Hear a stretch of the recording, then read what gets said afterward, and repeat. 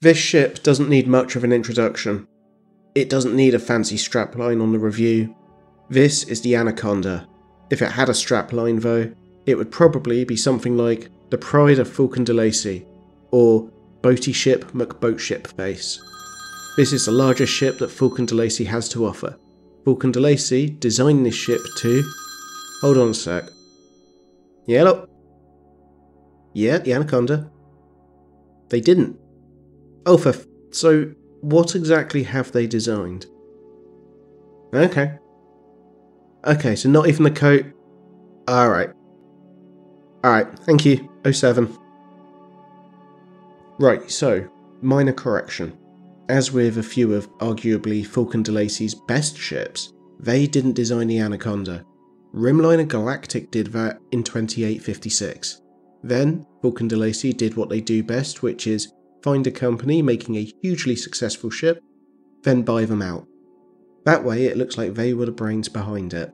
Seriously, they call this thing the Pride of Faulcon DeLacy Shipyards, but they didn't even design the thing. They did, to be fair, make some design revisions post buyout, but that's hardly the same thing as designing a new ship. It's like copying someone's homework and making a few small changes and then trying to pass it off as your own. Maybe it would be better if it was nicknamed the Pride of Faulcon DeLacy's Acquisitions Department. Well, that was a rough start. The Anaconda is the ship that, rightly or wrongly, many new pilots will aspire to own at some point in their career in the galaxy. Yes, there are ships that can fight better, trade better, and arguably explore better, but the Anaconda can do all of those jobs so damn well it makes you wonder if you ever needed a dedicated ship for them. Plus, it's good looking too. The top layer of this ship looks pointy but sleek, although down below it does have a little bit of a beer gut. There's an observation lounge on the front of the ship. We can't access it, but I'd wager you'd get a pretty impressive view of the cosmos from it. I'd love this to be a secondary bridge if the primary one was compromised, but as with all ships, we have a choice of being in the bridge, being outside, and that's about it, so it's likely we'll never know.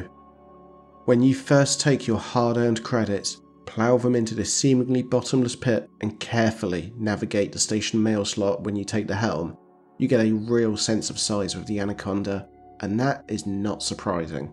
If you took five Vipers and lined them up nose to tail, you still wouldn't get to the full 155 metres of length that the Anaconda has.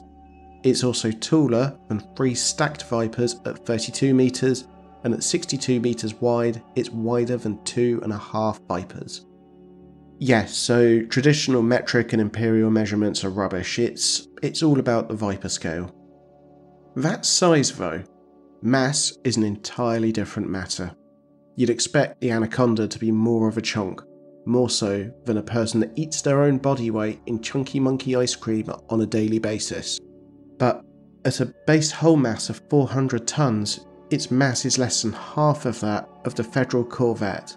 It's also lower than the hull mass of many medium ships, including the Alliance Challenger and the Federal Assault Ship.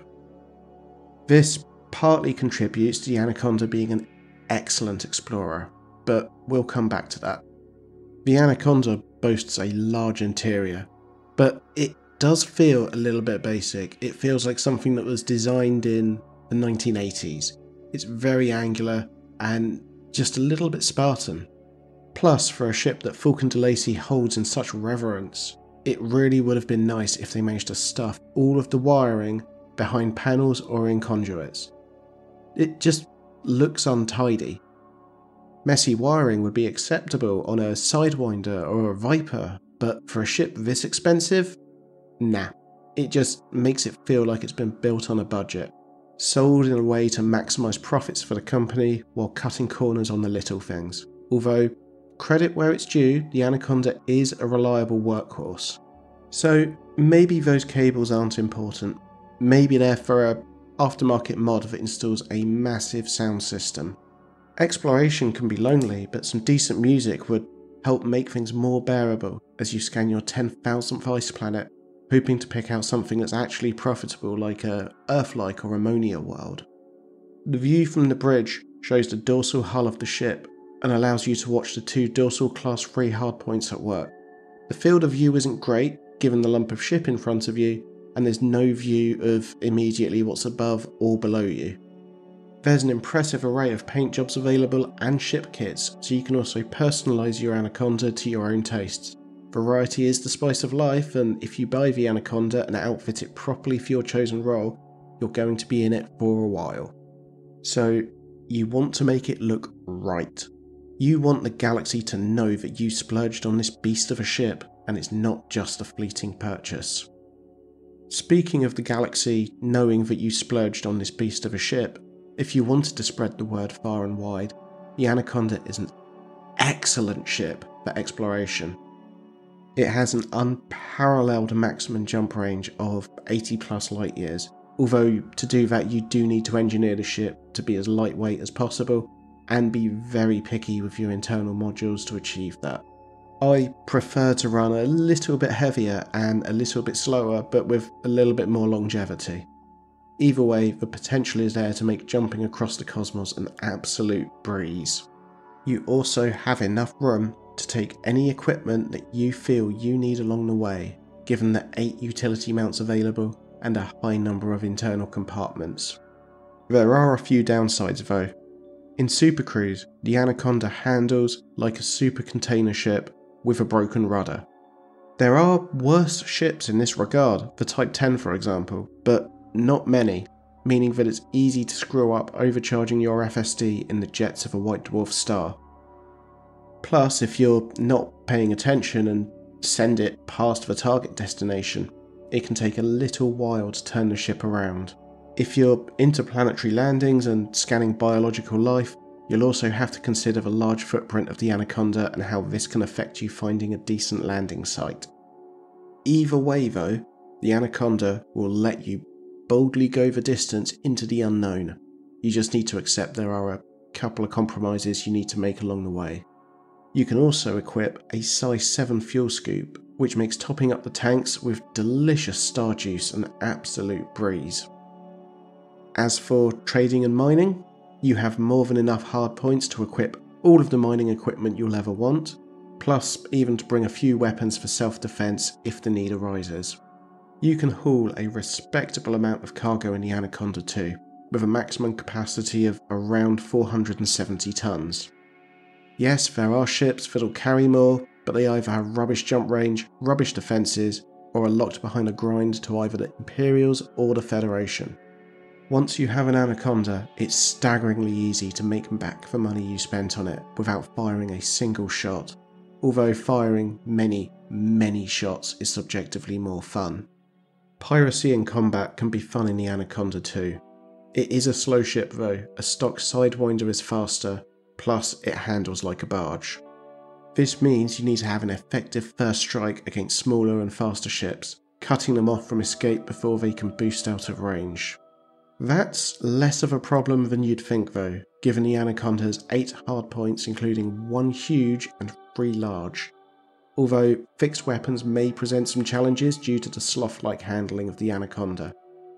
Using a mix of gimbaled and turreted weapons may be the way to go. On the plus side, with an A-rated power distributor and power plant, you pretty much have enough firepower to lay down fire with whatever weapons you choose.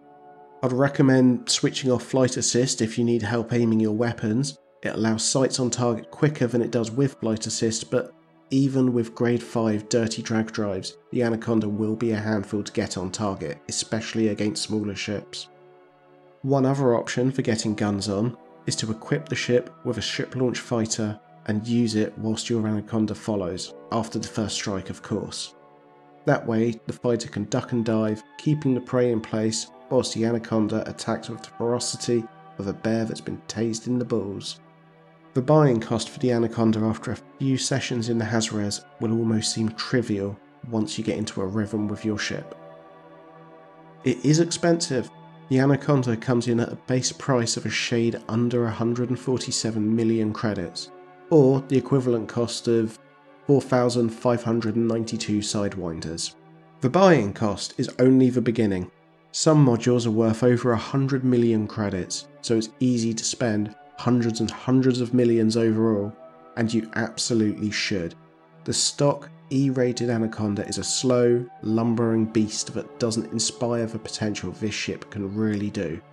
You really need to upgrade it to get the best out of it, unless you're happy with taking on low risk, low reward missions. You could also argue at this point that 4,500 Sidewinders would decimate the most battle hardened Anaconda in a straight fight, but you'd also have to employ a pilot for each Sidewinder, and that would get pretty expensive after a while.